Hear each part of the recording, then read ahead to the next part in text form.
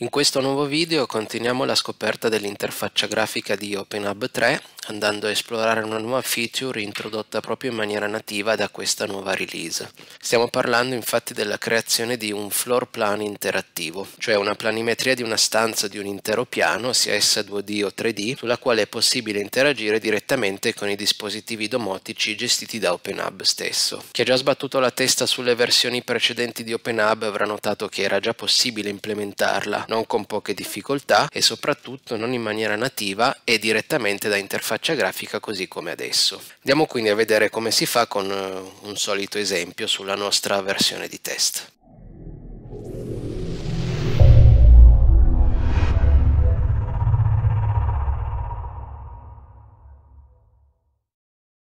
Per il nostro esempio andremo a creare il floor plan della cucina e per far questo sfrutto una vecchia immagine che avevo del, di una progettazione che avevamo fatto a suo tempo della cucina che ho pubblicato sul mio serverino e che quindi posso poi utilizzare per eh, creare il floor plan.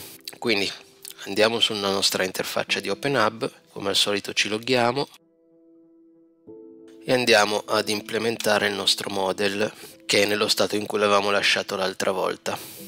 Quindi al piano terra andiamo ad aggiungere una nuova location che è la cucina. Vado veloce tanto i passi sono gli stessi dell'altra volta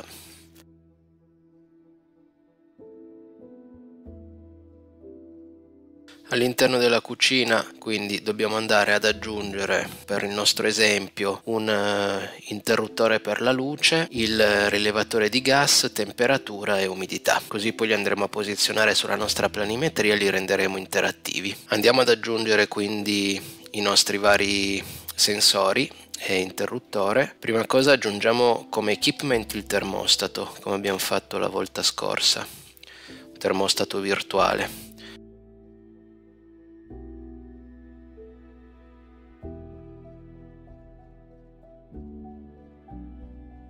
Una volta aggiunto l'equipment aggiungiamo all'interno temperatura e umidità come point e utilizziamo il solito OpenHub 2 tramite il binding.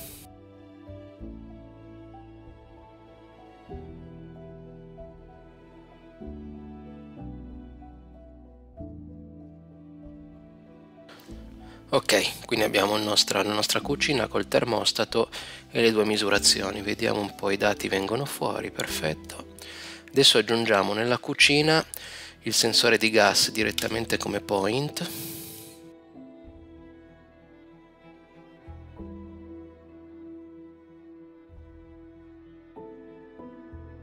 Ok ce l'abbiamo qui. E poi aggiungiamo l'interruttore sempre come point per far più in fretta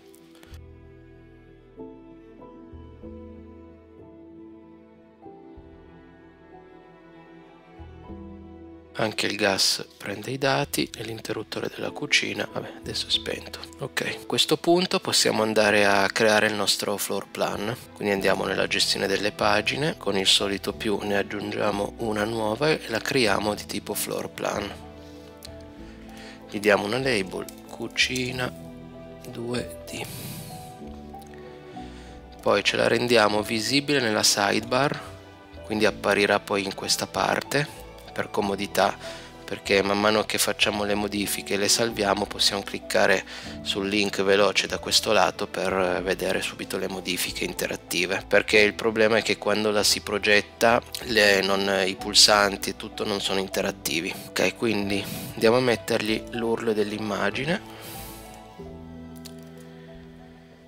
Lasciamo perdere tutte le altre proprietà mettiamo background default. E poi per aggiungere i marker che non sono nient'altro che i vari oggetti e dispositivi che vogliamo posizionare sulla mappa possiamo farlo in maniera diciamo standard di qua testuale chiamiamola oppure andando in run mode cioè in modalità esecuzione lo possiamo fare in maniera interattiva che è molto più comodo. Quindi clicchiamo su switch to run mode e abbiamo la nostra floor plan. Quindi aggiungiamo un marker con il pulsante in alto a destra ci viene posizionato e iniziamo a mettere il sensore di gas. Quindi lo posizioniamo sopra la K perché più o meno io ce l'ho da quella parte. Clicchiamo configure gli andiamo a scrivere che cos'è.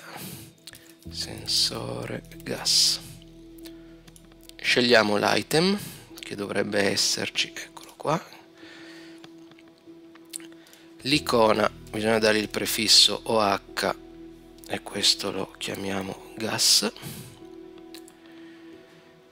l'icona colore size lascio perdere il tooltip non lo metterei perché poi come tooltip appare il, il, valore rilevato dal sensore e quindi è comodo. Normalmente il tooltip appare solo se il mouse c'è sopra o se ci, ci, si clicca sopra. E quindi non, guardando la floor plan non si vedrebbero i valori dei, dei sensori. Quindi conviene sempre mettere always display the tooltip e non mettere nulla nel testo altrimenti il testo sovrascrive il valore lasciamo tutto il resto così com'è e diciamo che questo è un pulsante che non sarà interattivo quindi non gli faremo fare nessuna, nessuna azione al click. Andiamo su done e vedete che già tutto funziona. Quindi lo vedo e vedo il valore che dovrebbe aggiornarsi in tempo reale. Adesso andiamo ad aggiungere la luce quindi facciamo l'add marker mettiamo in centro stanza configura chiamiamo luce cucina l'item è quello che abbiamo creato prima. L'icona mettiamo light. Occhio che se mettete light bulb non diventa poi sensibile allo stato. Questo perché l'icona light diventa gialla o bianca in funzione se la luce è accesa o spenta quindi dà un'indicazione visiva dello stato del componente. E bisogna usare light. Quindi mettiamo il flag che l'icona dipende dallo stato. Size eh, possiamo farla magari un po' più grossa mettiamo 80 40 il default mettiamo 80 colore lasciamo quello che è. Il tooltip eh, in questo caso può non interessarci tanto lo vediamo dalla dall'icona se è accesa o spenta e in questo caso però dobbiamo decidere che cosa fargli fare la action. Quindi in teoria noi vogliamo che ogni click venga invertito lo stato quindi mettiamo il toggle item come azione e poi mettiamo nell'action command on e nel toggle command off. Mettiamo done e abbiamo la nostra luce. La possiamo posizionare dove vogliamo. A questo punto aggiungiamo anche il nostro termostato. Quindi aggiungiamo un marker termostato io più o meno ce l'ho qua quindi lo posiziono lì configuro scrivo termostato cucina vado a cercarlo lo aggiungo l'icona gli mettiamo sempre la solita heating. In questo caso non abbiamo valori perché questo termostato è un insieme di valori di umidità e temperatura, quindi non ha senso neanche mostrare un valore aggregato che comunque in questo momento non sta calcolando, però facciamo sì che quando ci clicco sopra faccio un gruppo di tails, cioè faccio vedere il dettaglio di un, gli item diciamo presenti all'interno di un gruppo. In questo caso il gruppo è il termostato stesso, perché gli equipment sappiamo che sono dei gruppi che raggruppano altri gruppi o degli item e quindi abbiamo il nostro termostato. Come vedete il tooltip è null perché non ha un valore di riferimento come gruppo però se ci clicco sopra ah no già.